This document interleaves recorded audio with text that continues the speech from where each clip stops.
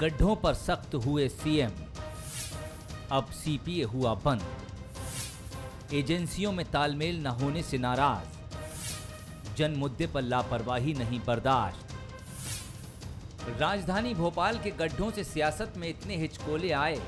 कि इसकी देखरेख करने वाली एजेंसी सीपीए में ही ताले लग गए। खुद सीएम शिवराज इस एजेंसी पर इतने नाराज़ हुए कि मीटिंग में ही इसे बंद करने का तत्काल आदेश दे दिया।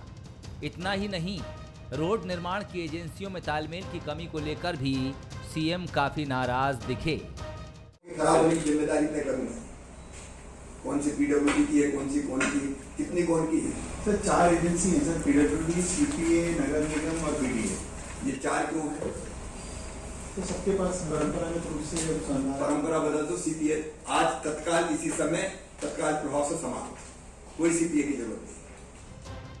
राजधानी की सड़कें सरकार के दामन पर दाग बन गई थी। 50 फ़ीसदी सड़कें ऐसी हैं जो बारिश में उखड़ चुकी हैं। Kolar, Hoshangabad road, Raisen road, Kamla park समेत पुराने शहर की सड़कों की स्थिति सबसे ज़्यादा जर्जर है। हालाँकि गड्ढों में मिट्टी और गिट्टी डाल दी गई है, लेकिन इससे विपक्ष कहाँ शांत रहने वाला है? वो तो सीपीए बंद होने पर भी संतुष्ट नहीं दिख रहा। आज पूरे प्रदेश की सड़कें खराब हैं। प्रदेश में किस तरह का काम हो रहा है, इसका उदाहरण यहाँ देखने को मिला कि पुराने पुल और पुरानी रोडें ज़िंदा हैं और इस बाढ़ में भारतीय, पिन पंद्रह साल में बने हुए पुल और रोडें बह गई, उखड़ के बह गई। तो हम चाहते हैं कि शिवराज सिंह जी सख्त हों और क्वालिटी मेंटेन करें, वर्क मेंटेन करें और गड्ढों को भरवाने का काम करें। दिखने से काम नहीं चलेगा। कहने से काम नहीं चलेगा। सीपीए यानी कैपिटल प्रोजेक्ट एडमिनिस्ट्रेशन, भोपाल को व्यवस्थित तरीके से डेवलप करने के लिए साल 1960 में आवास एवं पर्यावरण विभाग के अंतर्गत इसका गठन हुआ था। माना जा रहा है कि अब इसके बंद होने के बाद इसका काम पीडब्ल्यूडी को सौंप दिया जाएगा, क्योंकि इसके अधिकांश काम निर्माण से जुड़े हैं। वैसे पीडब्ल्यूडी मंत्री गोपाल भार्गव जब भोपाल के प्रभारी मंत्री थे, तब सड़कों की एक एजेंसी तय करने का मुद्दा उन्होंने उठाया था। भोपाल के पूर्व महापौर आलोक शर्मा भी सड़कों के निर्माण को लेकर एक एजेंसी तय करने की बात कह चुके हैं। अब सीएम को भी लगा कि सीपीए से काम नहीं बन पा रहा। सड़क को लेकर शिवराज काफ़ी संवेदनशील रहे हैं। वो मध्य प्रदेश की सड़कों को अमेरिका से भी बेहतर मानते हैं। ऐसे में खराब सड़कों को कैसे बर्दाश्त किया जा सकता है? एक तरफ़ जन आशीर्वाद यात्रा निकली तो दूसरी तरफ़ जनहित के मुद्दों पर भी तेज़ी दिखी। नमस्कार, मैं हूँ शरद द्विवेदी और हमारा आज का मुद्दा है शिवराज सख्त। एक फ़िल्म बड़ी चर्चित रही है, नायक। और ये बताती है कि लोकतंत्र के हमारे ये जो नायक होते हैं, किसी भी पार्टी के हों, मुख्यमंत्री हों, प्रधानमंत्री हों, लोकतांत्रिक व्यवस्था के अंतर्गत उनके पास कितनी शक्तियाँ होती हैं? और ये वाकई नायक ही होते हैं कि और आपने देखा कि शिवराज जी ने भी जिस तरह से ये कहा कि बंद करिए, परंपरा बदलिए, खत्म करिए। आज से अभी से तत्काल प्रभाव से सीपीए समाप्त। क्या ये कोई अधिकारी इस तरह बात कर सकता है क्या? क्या कोई और व्यक्ति इस तरह बात कर सकता है? क्योंकि लोकतांत्रिक व्यवस्था में चुनी हुई सरकार और उसके मुखिया को ये शक्ति दी गई है कि आप ये निर्णय तुरंत कर सकते हैं और उनको अमली जामा पहनाने के लिए आप कैबिनेट में या विधानसभा में कानून बनाकर उसको विधिवत रूप से इम्प्लीमेंट भी कर सकते हैं। अब प्रश्न ये उठता है कि सड़क को लेकर शिवराज जी की संवेदनशीलता। बिल्कुल ठीक बात है। कुछ साल पहले अमेरिका प्रवास के दौरान उन्होंने कहा था कि अमेरिका की एक ख़राब सड़क का उन्होंने ज़िक्र किया था और कहा था कि इससे अच्छी सड़कें तो मध्य प्रदेश में हैं। और 2003 में जब बीजेपी मध्य प्रदेश में तीन चौथाई बहुमत से आई तो माना यही गया कि उसकी एक बड़ी वजह थी विकास के मुद्दों पर उसकी एक बहुत आक्रामक और स्पष्ट सोच। और उसको लेकर बीजेपी आगे भी बढ़ी और आज मध्य प्रदेश के एक हिस्से से दूसरे हिस्से तक ये माना जाता है कि भोपाल से आपको रीवा जाना हो, जो उत्तर प्रदेश, इलाहाबाद, प्रयागराज से लगता है, या महाराष्ट्र से लगे बुरहानपुर जाना हो, या राजस्थान से लगे नीमच जाना हो, आपको सात घंटे, साढ़े सात घंटे का वक्त लगता है, आठ घंटे या नौ घंटे भी लग सकते हैं, अगर मौसम ठीक नहीं है या ख़राब हो। तो ये बिल्कुल सही बात है कि सड़कों का जाल बिछा, बिजली की समस्या समाप्त हुई, पानी की समस्या भी काफ़ी हद तक कम हुई। लेकिन सड़कें खराब जल्दी होती हैं और हर मौसम में और हर सरकार में खराब होती हैं, क्योंकि जो व्यवस्था है ठेकेदार को देने की, वो व्यवस्था वैसी ही रहती है। और ये मान लिया जाता है, पीडब्ल्यूडी ये मान कर चलता है, माफ़ कीजिएगा, कि हम जितना चंदा देते हैं, कई बार कहने पर भी और कई बार बिना कहने पर भी तो ये हमारा अधिकार है कि साहब, इसको हम पर छोड़ दीजिए कि सड़कों का मेकअप कैसा होगा। और यही वजह है कि सरकार चाहे बीजेपी की हो, कांग्रेस की हो, समाजवादी पार्टी की हो, ममता बनर्जी की हो, सड़कों का ये विषय जीवित रहता है हमेशा और ये प्रश्न पूरे देश में पूछा जाता है। मैं अभी एक दिन पहले एक राष्ट्रीय चैनल की रिपोर्ट देख रहा था कि सड़कों के ये गड्ढे और गड्ढे में सड़क। तो बड़ा सवाल है लेकिन शिवराज जी का ये एटीट्यूड बताता है कि वो अब एक आक्रामक स्टैंडिंग के साथ सामने आएँगे। जो मेहमान हैं हमारे साथ उनसे मुलाकात कर लीजिए। मेरे साथ भोपाल स्टूडियो में हैं वरिष्ठ पत्रकार राजनीतिक विश्लेषक दिनेश गुप्ता जी बहुत स्वागत करता हूँ। फिरोज सिद्दीकी साहब हैं हमारे साथ उनका मैं बहुत इस्तकबाल करता हूँ खैर मकदम करता हूँ। प्रवक्ता हैं कांग्रेस के और उनका भी स्वागत। रजनीश अग्रवाल जी हैं उनकी सुनहली मुस्कुराहट को मैं धन्यवाद ज्ञापित करता हूँ। बहुत धन्यवाद रजनीश जी क्योंकि मुस्कुराहट ही है जो इस दौर में आश्वस्त करती है। बाकी तो ऐसा लगता है कि पता नहीं ये सूरत हाल किस तरफ़ ले जाएगी। बहुत अच्छा लगता है जब एक मित्रतापूर्ण और गहरी मुस्कुराहट हो।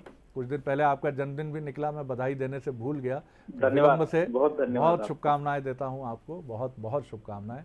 दिनेश जी, पहली टिप्पणी आपकी। शिवराज जी का ये स्टैंड एक जिस आक्रामक तरीके से उन्होंने कहा, बदल दीजिए परंपरा, खत्म करिए। आज से, अभी से, इसी समय से किस तरह आप देखते हैं? अभी चुनाव में करीब करीब सवा दो साल हैं, लेकिन शिवराज जी ये समझते हैं कि ऐसे मसलों पर कोई भी चूक नहीं होनी है। जनता के हित के मुद्दों पर अब बड़े फैसले क्या आप देख रहे हैं आने वाले समय में? बिल्कुल शरद जी, जो सड़क, बिजली, पानी जैसे जो विषय हैं वो खासकर कुछ इलाकों में जब हमने देखा कि सड़कें उखड़ गई हैं। तो सरकार को तो सख्त हमेशा ही होना चाहिए कि केवल सीजनल नहीं हो सकते कि बारिश आई है सड़क उखड़ी है तो जो है हम सख्त हो गए। ये सख्ती आपको 12 महीने 24 घंटे नज़र आनी चाहिए। यदि आपका इकबाल बुलंद होगा तो निश्चित तौर पर जो है प्रशासन बहुत अच्छा चलेगा। बिना उसके आप नहीं जो नौकरशाही में कहते हैं ना कि घोड़े और सवार का जो कॉम्बिनेशन जिस तरह की बात होती है यदि आपने ठीक से काबू नहीं किया ठीक से चीज़ों को नियंत्रण नहीं किया तो जनता को नाराज़ होने में समय नहीं लगता है हम्म। आप देखिए कि भारतीय जनता पार्टी के लिए अभी भले ही चुनाव अपना तीस महीने की दूर हो लेकिन तीस महीने का समय पता नहीं लगता है हम्म। जब परसेप्शन बनना शुरू होता है तो तीस महीने का समय आप बहुत जो है कम ही होता है। तेज़ी से सरकारों के बारे में एक धारणा बनती है और फिर वो धारणा चुनाव में नतीजे ऐसे आते हैं जो एंटी इनकम्बेंसी में कन्वर्ट होती है और फिर सरकारें बदल जाती हैं। तो सचेत आप रहेंगे तो निश्चित तौर पर या सचेत और सतर्क दोनों ही दो। तो निश्चित तौर पर जो है आपको अगली पारी जनता देती है। ठीक कहा आपने और सचेत भी रहना है सतर्क भी रहना रजनी जी किस तरह देखते हैं आप निश्चित तौर पर एक अच्छी मज़बूत पहल है कि ये प्रश्न अक्सर मध्य प्रदेश की राजधानी के संदर्भ में उठता है कि कब तक इन एजेंसियों की उहा पोह के बीच में कि एमपी नगर, महाराणा प्रताप नगर की सड़क सीपीए के पास है पीडब्ल्यूडी के पास है कि नगर निगम के पास है? और एजेंसी एक ही हो तो उससे समन्वय बेहतर होता है। ये चीज़ें देर आए, दुरुस्त आए विलम्ब हुआ, ठीक बात है। लेकिन ये अभी कुछ लोग ये भी कह रहे हैं कि सीपीए खाम खा भुगत रहा है अच्छा काम किया उसने। माफ़ कीजिएगा एज़ कंपेयर टू पीडब्ल्यूडी या नगर निगम। लेकिन होता है कई बार गेहूँ के साथ घुन पिसता है। आप किस तरह देखते हैं? और आगे हम माने कि इतने ही त्वरित फैसले जनहित के दूसरे मुद्दों को लेकर। देखिए निश्चित तौर पर ये फैसला तो स्वागत योग्य है कि भोपाल राजधानी के कारण यहाँ कई एजेंसीज एक साथ काम कर रही थी। सीपीए तो एक है ही।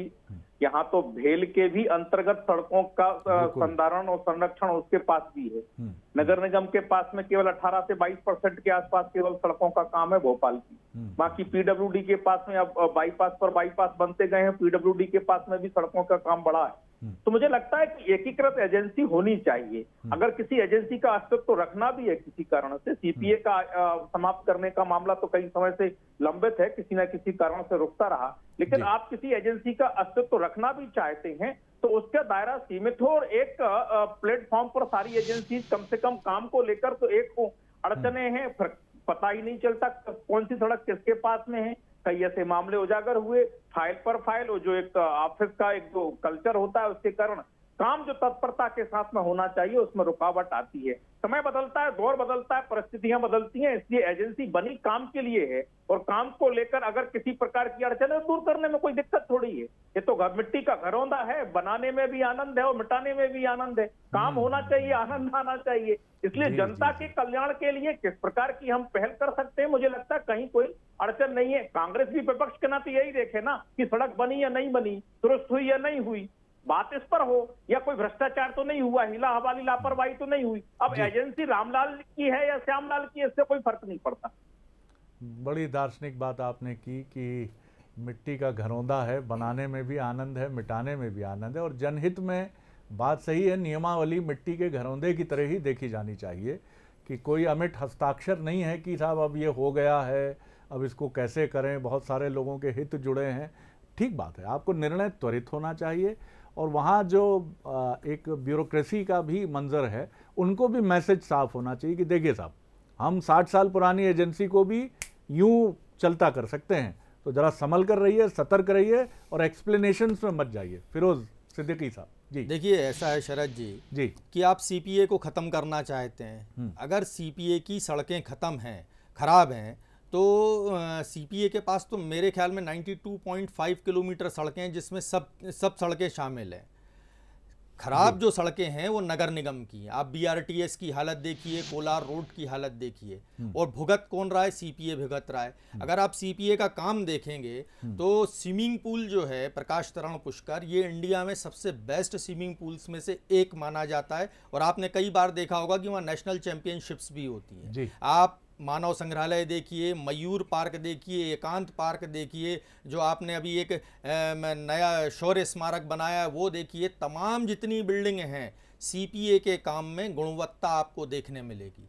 और क्या सरकार ने जब सीपीए को बंद करने का निर्णय लिया तो कितने कर्मचारी हैं? तीन सौ छप्पन कर्मचारी हैं मात्र, जिसमें से ज़्यादातर लोग जो हैं वो डेपुटेशन पे आए, यानी प्रतिनियुक्ति पे आए। तो ये ऐसा तो नहीं है कि इस विभाग को बंद करने से सरकार की आय में सरकार को भारी बचत होने वाली है। और ये जो जितनी भी हमारा टीटी नगर स्टेडियम देखिए या प्रकाश तरण पुष्कर देखिए, इन दोनों स्टेडियमों में बहुत मामूली आप पैसे में अपना कोई व्यायाम सीख लेता है, कोई स्विमिंग सीख लेता है। अब ये एजेंसी, क्या ये सरकार इसको किराए पे देगी? ये सवाल है। सरकार ने तो क्लियर नहीं किया। और गलती किसकी? नगर निगम की। गलती किसकी? पीडब्ल्यूडी की। भुगते कौन? उनने कहा सीपीए भुगतेगा ये बात जरा गले नहीं उतरती कि सरकार आखिर करना क्या चाहती है। कहीं ऐसा तो नहीं कि एयरपोर्ट जैसे जा रहे हैं ऐसे हमारा स्विमिंग पूल भी चला जाए कि ये किसी दिन हमको सुबह एडवर्टाइजमेंट विज्ञापन देखने मिले कि आज जो है इसकी बिल्ट निकली है कि अब इसको किराए पर दे रही है सरकार। मैं समझता हूँ कि किसी एजेंसी को जिसका एक अपना एक्सपीरियंस है जिसका एक अपना साठ साल का अनुभव है उस एजेंसी को बंद करने से सरकार को लाभ नहीं होने वाला जनता को लाभ नहीं होने वाला। हाँ रोडों का जब बात है तो एक्सपर्टीज सर किसकी लेकिन आ, आप जोखिम उठा रहे हैं सिद्दीकी साहब। आप ये बात कह के कांग्रेस के तार जोड़ने की तो कई कुछ लोग अनुमान लगा सकते हैं कि सीपीए से कांग्रेस का कोई रागात्मक संबंध तो नहीं है। बनाया तो हमारे पूर्वजों ने था उसको और उसने काम भी अच्छा किया। इसमें कोई शक नहीं मैंने जितनी भी आपको उदाहरण दिए हैं वल्लभ भवानी ये विंध्याचल हो सतपुड़ा हो हमारा चलिए मैं एक निष्पक्ष कमेंटेटर की टिप्पणी ले लेता हूँ जो हमारे साथ हैं सीनियर जर्नलिस्ट सर कितने सहमत या असहमत हैं आप फिरोज सिद्दीकी साहब की बात से? देखिए शरद जी जैसा कि उसका नाम आप देखेंगे ना प्रोजेक्ट एडमिनिस्ट्रेशन।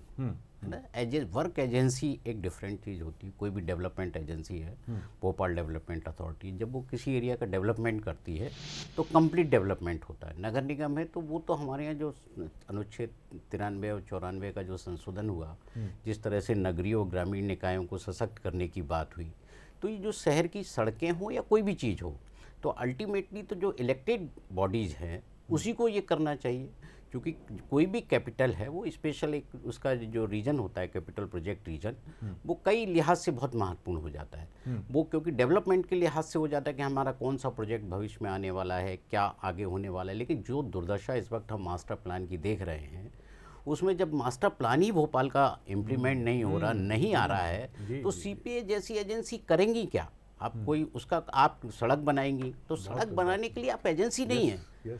आप तो बड़ा बड़े सोच के साथ चलिए ना क्योंकि जिस तरह से आप ये देखिए कि आप इसका जो मुखिया होता है वो जो आवास पर्यावरण विभाग का प्रमुख सचिव या एडिशनल चीफ सेक्रेटरी वो इसको उस इसका वो होता है एडमिनिस्ट्रेटर जब इस लेवल पर चीज़ों का कंट्रोल होता है तो क्या आप ये मानेंगे कि सड़कों की क्वालिटी खराब होनी चाहिए? या कोई भी जो वर्क है वो घटिया होना चाहिए? नेचुरली जो चीज़ें हैं, आप चाहे एक परसेंट हो, आपके पास आधा परसेंट हो।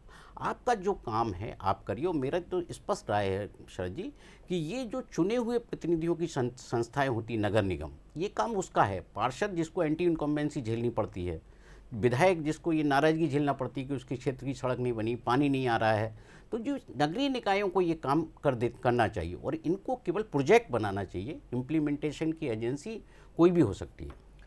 ये बात बहुत महत्वपूर्ण है कि कौन किसके लिए बना है।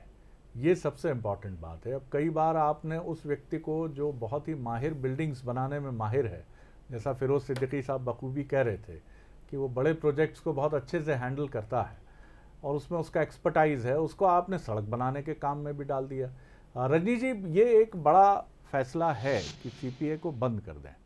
आ, ये भी बिल्कुल ठीक है हम इससे भी इत्तेफाक रखते हैं क्योंकि ये डिबेट बीते दो तीन दशकों से चल रही है कि भोपाल के विकास के लिए सड़कों के डेवलपमेंट के लिए भी एक ही एजेंसी होनी चाहिए। लेकिन अगर सीपीए का काम अच्छा है तो मुझे लगता है मुख्यमंत्री जी भी इससे इत्तेफाक करेंगे।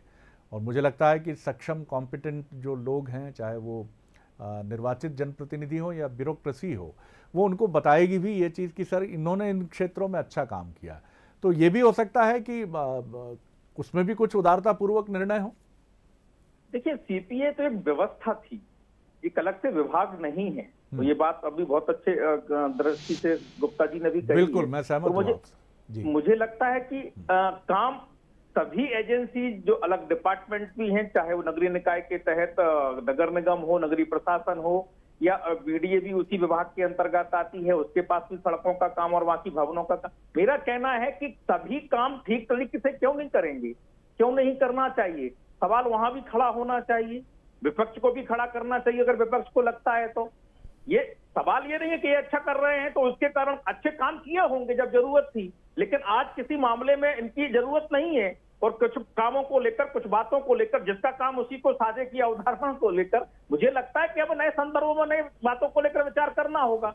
बढ़ते भोपाल को लेकर उसके डेवलपमेंट के एक समग्र प्लान को लेकर एक एकीकृत एजेंसी को लेकर अगर भोपाल बढ़ना चाहता है तो हम विकास के बारे में बात करें सड़कों मा, मास्टर प्लान क्या हम उम्मीद रखें? मास्टर प्लान पर बड़े फैसले दावे कांग्रेस के भी रहे पंद्रह महीने की सरकार में।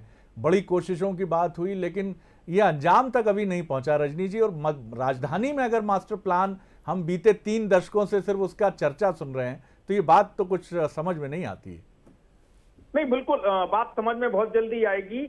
और पहाड़ियों का और झीलों का शहर, भोपाल, ये दोनों बातों को मिलाकर बात समझ में आपको आएगी आने वाले समय में, निश्चित तौर पर। जो भोपाल की खूबसूरती है, यानी राजा भोज ने जिस प्रकार से पूरी की पूरी की वास्तु अवधारणा को लेकर इस भोपाल का बसावट कभी की होगी और जिस प्रकार के प्रोजेक्ट उन्होंने यहाँ स्थापित किए होंगे उस सब चीज़ों को लेकर, मैंने कहा, मैं फिर दोहराता हूँ, झीलों की नगरी और पहाड़ियों की नगरी, इस बात को लेकर मास्टर प्लान में भी वो अभिव्यक्त होंगी चीज़ें। समय आने दीजिए, सब बातों का खुलासा आने वाले समय में होगा। हम सौ में से 25 से ज़्यादा शहर स्वच्छता के मामले में आगे रहे हैं। सबसे खूबसूरत राजधानी, स्वच्छ राजधानी देश भर में भोपाल रही है राज्यों की राजधानियों में। तो आगे भी बढ़ेंगे और आने वाले समय में वो दिखाई भी पड़ेगा।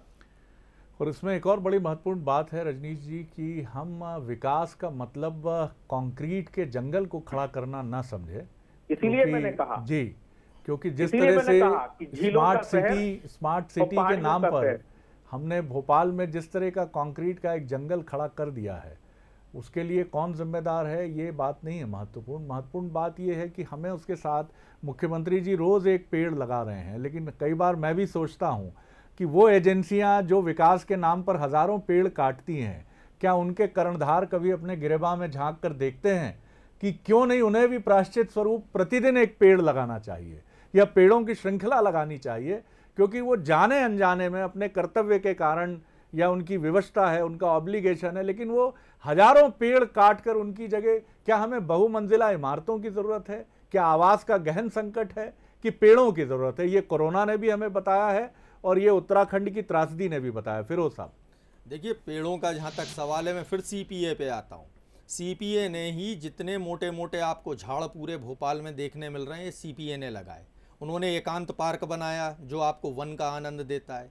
मेरा एक सुझाव है और कांग्रेस पार्टी की ओर से कह रहा हूँ कि आपने रोड रोड ले लीजिए उनसे अगर ये समस्या है तो। लेकिन झीलों का काम दे दीजिए सीपीए को क्योंकि उनका जो पास्ट एक्सपीरियंस है सीपीए का किसी भी आप उनके प्रोजेक्ट में आप उंगली नहीं उठा सकते। आपको बेस्ट देखूँ अगर सबसे ज़्यादा लोग उपयोग कर रहे हैं तो Mayur park swimming pool TT Nagar stadium और हमारा मानव संग्रहालय। और लोग खुश हैं? आज तक किसी ने कोई शिकायत नहीं की। तो क्यों ना उस व्यवस्था को हम उस पर सरकार का अलग से बोझ नहीं है, क्योंकि जितने भी कर्मचारी, अधिकारी हैं, वो अलग अलग डिपार्टमेंटों से आए हुए प्रतिनियुक्ति पे हैं। तो क्यों ना उस व्यवस्था को हम और एक्सपांड कर दिया जाए सीपीए को? और उसके ऊपर जो गाज गिराई जा रही है, हमारी आपत्ति ये कि सीपीए के ऊपर आप गाज गिरा के सीपीए को बंद कर रहे हैं और उसके उसके अधीन जितनी इमारतें हैं जहाँ लोग एक बहुत मामूली शुल्क में जाके अपना आनंद ले सकते हैं मानव संग्रहालय में या स्विमिंग पूल में, कहीं भी हो, उसको आप जो है प्राइवेटाइज करने की ओर जा रहे हैं। अभी एक दशक तो आपको बंद करने में लग गए। अब दूसरे दो दशक आप लगाएँगे क्या उसको? अ, अ, कौन सी एजेंसी जो सीपीए की जगह काम करेगी उसके लिए?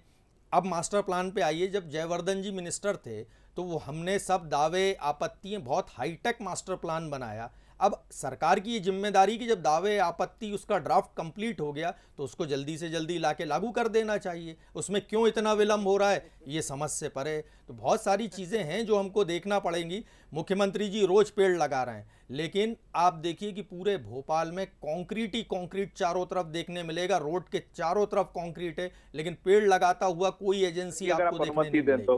तो ये जो समस्याएँ हैं इन आप जो ये पॉलिसी मैटर है सरकार को नीतिगत अच्छे निर्णय लेना चाहिए। नीति उसकी जो होना चाहिए वो ज़मीन पर देख के समझ कर भी लगा रहे हैं फिरोज साहब आ, पेड़ लगा मैंने लगाए हैं। मैं मैं मैं इस बात का हिमायती हूँ नेताओं की तरफ़ चले तो। हाँ लगाए हैं। कुछ लोग लगाते हैं कुछ लोग नहीं लगाते। लेकिन सबको लगाना चाहिए। ये ये मैं अपील करता हूँ। बड़ी बात है सर मैं अप्रिशिएट करता हूँ। रजनीश जी आप कुछ कहना चाह रहे थे?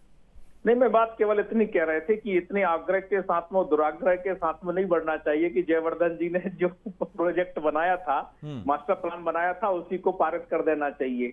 बहुत सारी आपत्तियाँ भारतीय जनता पार्टी के जनप्रतिनिधियों को रही हैं जो एक तरफा माहौल चला है। बिल्कुल नहीं कतर नहीं बिल्कुल लागू नहीं करना चाहिए। हमारा तो बहुत स्पष्ट कहना है उस मास्टर प्लान को। हाँ मास्टर प्लान के साथ में निश्चित तौर पर भोपाल की जो सबसे ज़्यादा खूबसूरती के कारण हैं जो झीलों पर्यावरण पहाड़ियाँ उसको पूरा तरह से केंद्रित मास्टर प्लान होगा। आने वाले समय में सबके सामने होगा और सबके भावों का समावेश करते हुए होगा। मुझे लगता है कि उसी को कर देना चाहिए ऐसा आग्रह रखने का कोई कारण नहीं। आप किस तरह देखते हैं इसको? दिनेश जी। नहीं देखिए कोई भी शहर हो आप तो हर शहर का छोटे छोटे शहरों का भी आप प्लान बना रहे हैं। तो बड़ी दुर्भाग्यजनक स्थिति है कि भोपाल को लेकर हम लगातार एक ही प्लान पर काम कर रहे हैं, जो एक्सपेंड होना चाहिए। आप भोपाल को जब गौर से देखेंगे ना तो भदभदा साइड आपको दिखेगा कि डेवलपमेंट जिस तरह से होना चाहिए, बसाहट होना चाहिए, वो नहीं हुई। होशंगाबाद रोड जाएँगे तो आपको लगेगा कि बहुत क्राउड है। तो जो प्लानिंग होना चाहिए कि चारों दिशाओं में समान रूप से विकास हो। तो ना तो ऐसे हमारे पास जो है, नेता जो जिस तरह से हमने देखा था, गौर साहब का एक विजन जो है 1990 में जब सामने आया था तो उसका रिज़ल्ट हम देखते हैं भोपाल को थोड़ा जो है, जब जिस तरह से उन्होंने नब्बे से बानवे में प्लान किया तो आज भी लोग उसको याद करते हैं। तो कोई ना कोई एक ऐसा आपको लीड करना होता है कि हमको क्या आवश्यकता है। आप एम्प्लॉयमेंट की दृष्टि से देखिए कि यहाँ जो है, आसपास कितना एम्प्लॉयमेंट है, लोग यहाँ से बाहर क्यों जा रहे हैं? जब आप प्लान नहीं करेंगे ठीक से कि हमारे यहाँ मैन पावर कितना है, यहाँ जिसको यूटिलाइज करना है, वो किन चीज़ों की रिक्वायरमेंट है, आप भोपाल की जो जोग्राफिकल आप वो देखेंगे स्थिति तो सबसे आइडियल लोकेशन है आप पूरी कंट्री वाइड जहाँ आप कुछ भी आप यहाँ उद्योग स्थापित करना चाहें एजुकेशन इंस्टीट्यूट स्थापित करना चाहें ज़रूरत है आपकी इच्छा शक्ति की। आप करना चाहते हैं कि नहीं करना चाहते यदि एक बार सरकार ये तय कर ले कि हमको इसको देश की सबसे जो है रोज़गार देने वाली राजधानी बनाना है तो शायद उसमें भी जो है भोपाल पीछे नहीं रहेगा।